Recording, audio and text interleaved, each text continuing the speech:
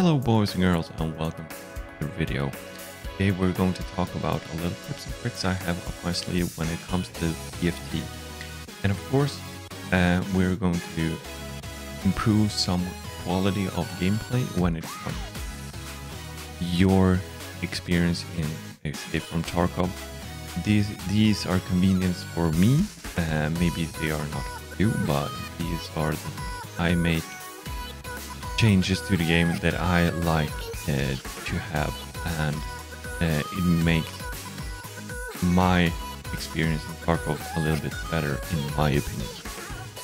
These are tips and tricks that I use in my gameplay, and you have probably seen them other channels as well, um, streamers or YouTubers showing you these, but now I'm going to show you mine from my perspective. So let's uh, let's crack into it, like Pestily says. So the first thing I'm going to show you here is actually the settings I have in NVIDIA for uh, this game. Uh, I've experimented a lot of, uh, with the settings in NVIDIA to improve stability and of, of FPS as well in this game. And these are the settings I'm using right now. First, the first one is like scroll down, uh, scroll down a little bit, and of course you need to add this to uh, the game itself in NVIDIA. So please look this up in another guide. There are thousands of guides showing you how to unlock your FPS uh, and stability in the game. So what I've been doing and what I've been using of this patch that actually made the game a little bit better for me. And I've turn off low latency mode. Uh, so that's off. I've done monitor technology fixed refresh rate. I've done uh, power management mode to mm, prefer maximum performance. I've, I have done also shader cache on on. The next thing I've done is turn, like I said, uh, shader cache is on, but the next thing is texture filtering and sample option there, and that is on. Uh, texture filtering, negative LOD bias, allowed. Texture filtering, quality performance. Texture filtering, linear uh, optimization on. And threaded optimization on, triple buffering off, vertical sync fast. And this is the main reason you want to do this is basically unlocking your FPS and making your graphics card uh, do a little bit of heavy lifting, lifting and course do some more performance as well. So basically you turn this to either off all the way and that will actually make it go even higher in FPS but I've done like I've done fast for just because Nvidia has this option of off or fast and fast is a really good option um, to use because it's a it, it's something in between off and basically vertical sync on basically uh, it uses the functionality of off so you unlimit your uh, frames but as well you don't um, tear the picture that much uh, yeah you can read up about it exactly what it does but I like to have it on this because it unlocks the frames uh, and you don't get like 100% usage of your graphics card all the freaking time. Um, it actually uh, turns down a little bit sometimes and so on.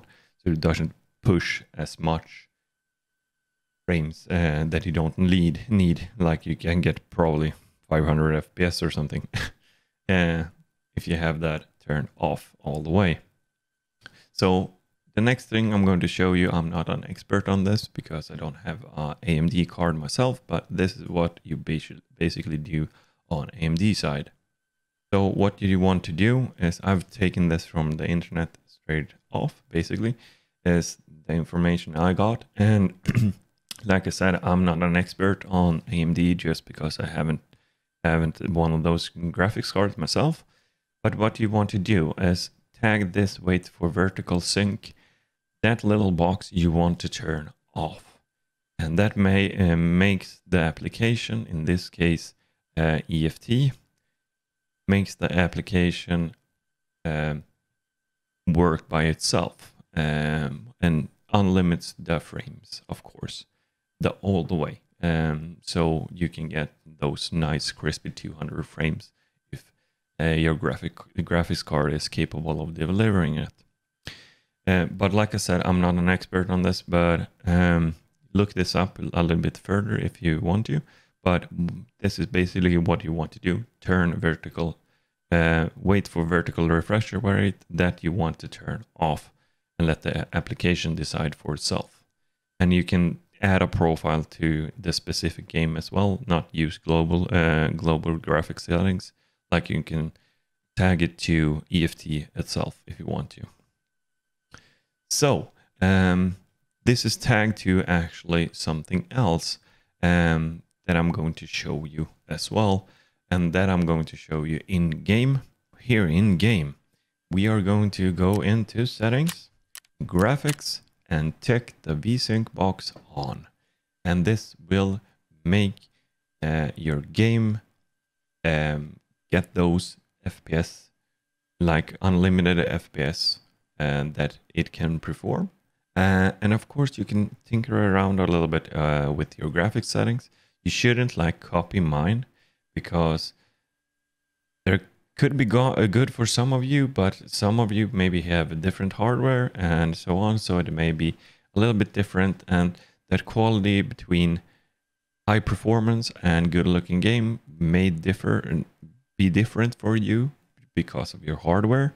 So maybe look up a guide or on something that is more appropriate to you when it comes to your hardware and what type of settings in graphics, the gra graphics tab you should have. But of course, do this. And this is connected to everything prior we've done in AMD and of course in NVIDIA.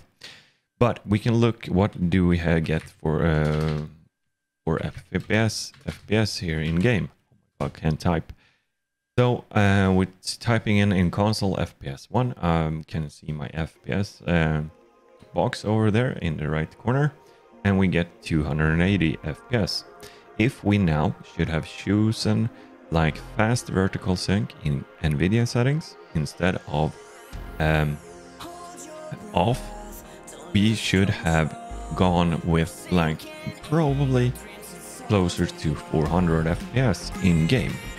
But it will use 100% of the graphics card all the time, even though it can't deliver any more frames. That's why I'm using like fast instead, because in game it will deliver the most frames it can and it will not work harder than that. But if it's off, it will deliver as much frames as it can and work 100% either way and try to deliver more even though it can't deliver more frames. I'm talking about the graphics card, of course. But do this and like I said, tinker around with your settings to get that um, balance between performance and quality in game that you like and it's working good for you. So we will take and take away this FPS box again, type in that in console and we are done. Now we're done in settings. You should hit save the, uh, these settings are connected to the last thing we did in uh, AMD and NVIDIA had, uh, as I told you. But what we're going to do now is close down the game and go out to Windows again. So let's go over there. So go to your Documents folder, go to Escape from Tarkov and Local INI file. Open that with a notepad. And here you can set and see every settings you have in game in the graphics tab uh, but in more like a text form. And the only thing I want you to do here, and this is my second tip, um, is that actually you turn bloom off. Like this should probably be on one for you, but turn this to zero instead and close. Go to file and save and close this tab. And this happens every time you basically um, do something in the graphics tab. It will change this bloom effect to 1 and you don't need it. Uh, it takes a little bit of a performance hit if you have that on, but if you turn it off, you gain a couple more FPS in my experience. So, and it doesn't have a big impact on the visuals of the game. So do that and that will be awesome actually. Um, okay, the last tip. Let's go and look at that. My last tip here is actually have some kind of um, quick buttons on your mouse. I have a G502 uh, Lightspeed, a wireless mouse, and it works awesome. And this is the best mouse I have have had in a long time. But what you should do is go into like uh, this will be called in English like tasks or something, and you should aim this to escape from Tarkov or change it to escape from Tarkov. But this is different from every mouse manufacturer. So this is a Logitech brand. So this is direct and I can only show you in how I'm doing it in Logitech. Maybe if you have a Corsair one, you have to tinker around a bit, a bit with it to find the exact tabs and how to do it in that software. But basically what I've done is like I have here a short command for ammo and I've spelled that wrong, but I don't care. Um, and here I have the delete button uh, on this uh, little nice button over here. And on the side, I have like B here, and I have uh, forward and backwards.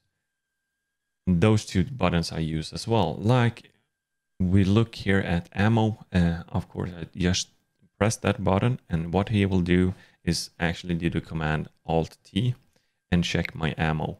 Uh, see how much is left in the mag and delete of course instead of reaching over to the delete key on my keyboard I can just hover over a item and press that button and it will throw it away in, in stash uh, or in your inventory it will like discard it basically. And of course on the side here uh, B for switching like my um, fire rate or fire mode from auto to semi or burst or whatever. And that's very convenient. Probably have seen me if you watch my streams. I've toggled from semi single to auto uh, very many times during a raid. And that's why um, I have it on my mouse button. And so it's more convenient for me. And forward and backwards here, the last two buttons are actually for changing like scopes.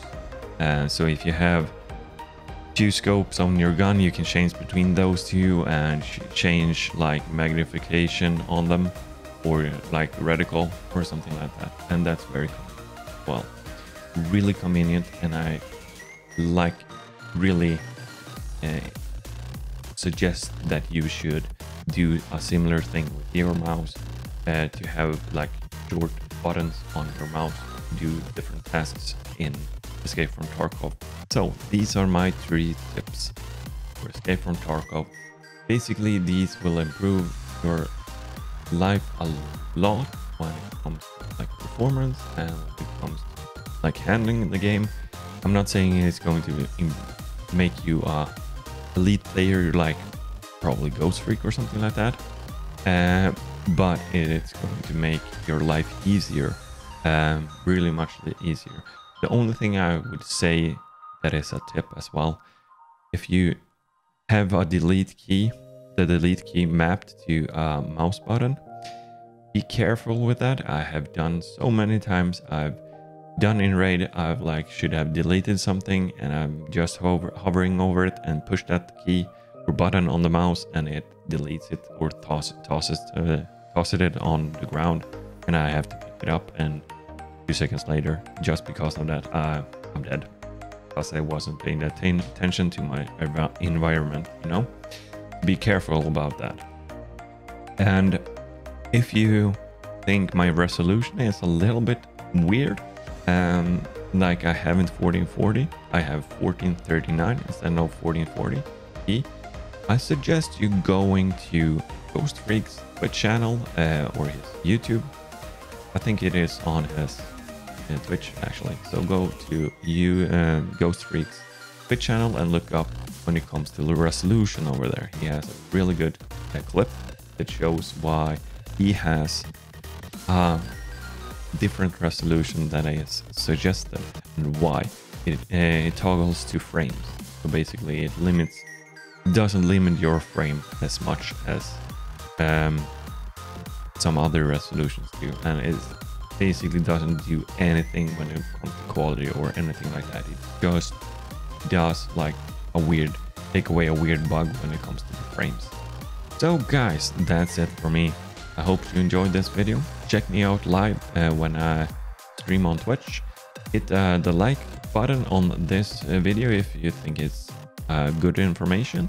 And of course, consider subscribing as well if you want more content here on YouTube from me. But I hope to see you soon. Have a great day. Bye bye.